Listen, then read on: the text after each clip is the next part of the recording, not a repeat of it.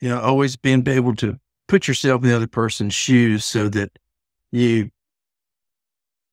you you're more empathetic, I suppose, throughout that entire process and, and probably can listen better to what they're asking and, and do a better job coherently answering them. Let's start with some of those basic questions. Let's do the one you mentioned that usually comes out near the top. Tell me about yourself.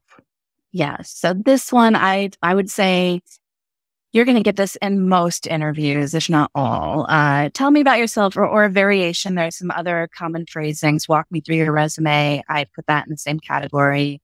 Uh, these are basically these questions are basically turning turning things on you, right? Putting the ball in your court. As the interviewer, they're basically saying, "Okay, you tell me your story. You you would tell me what I need to know about you." as opposed to kind of coming up with a with a more specific question. So from their perspective, they're trying to get you talking, they're trying to, you know, start things off, get the information that they need. And from your perspective, it can feel a little overwhelming because obviously there are many, many things you could say about yourself. And what do you choose and what do you say and how do you say it? And are they talking about professionally or personally or, you know, how do you, how do you approach this?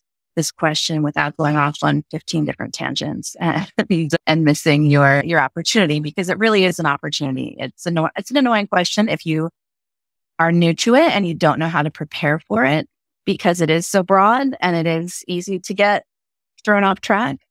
But if you prepare well for it, it, it is an opportunity because it gives you the chance to position yourself the way you want them to see you in this interview for this job right? So as opposed to just relying on your resume, relying on them to read between the lines and and see what you want them to see about you, you can basically sum yourself up and, and tell your story the way that you want to tell it.